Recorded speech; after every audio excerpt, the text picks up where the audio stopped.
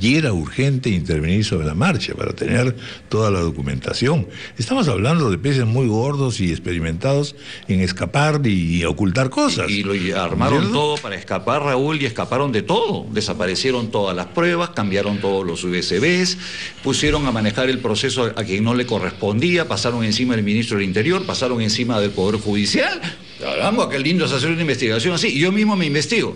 No, pues, Raúl, yo creo que estaríamos abriendo una puerta al infierno si después del día de hoy resulta que el presidente de la República tiene la facultad para ordenar, allanamientos. Si eso es a lo que ustedes creen que estamos de acuerdo, Dios nos coja confesados.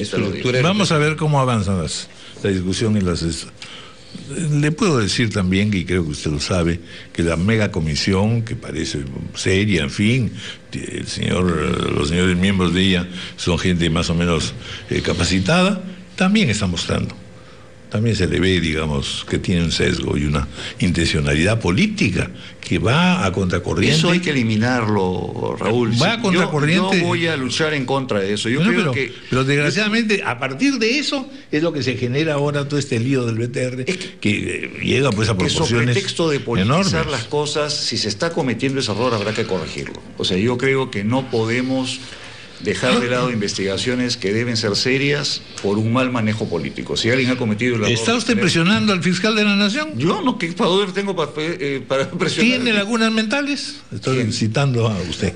¿Yo? Estoy tengo lagunas mentales. ¿Quién ha determinado? Seguramente mi psiquiatra Mulder. Mi psiquiatra Mulder. Eh, no, que, mira. ¿Quién dice que lo entiende porque dice está convaleciente? No, mira, yo creo que es por todos conocido eh, el ataque directo al mensajero cada vez que se sienten heridos, pero yo lo tomo con mucho cariño. Muy bien. O sea, yo los estimo mucho, tanto a Javier como a Mauricio. Muchas gracias, congresista Daniela Bogatás. Gracias a ustedes. Tenemos la esperanza de que esto pueda seguir un curso correcto. Que se respete el orden jurídico, Raúl. Si permitimos que se rompa el orden jurídico, estamos mal. Estamos en serios problemas. Muchas gracias. Gracias a ustedes. 8 y 59 minutos de la mañana, vamos a hacer una pausa.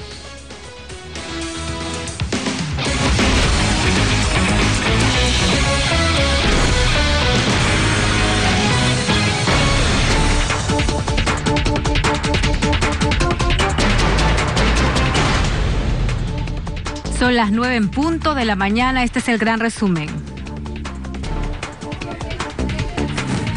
La policía incrementó la seguridad dentro y fuera de Mistura tras la aparición en las redes sociales de mensajes vinculados a Sendero Luminoso en contra de la feria gastronómica. Entre los 800 policías destacados hay efectivos de la Dirección Nacional contra el Terrorismo y francotiradores. El exfiscal Mateo Castañeda Segovia calificó al presidente de la megacomisión Sergio Tejada como abogado de la mafia del BTR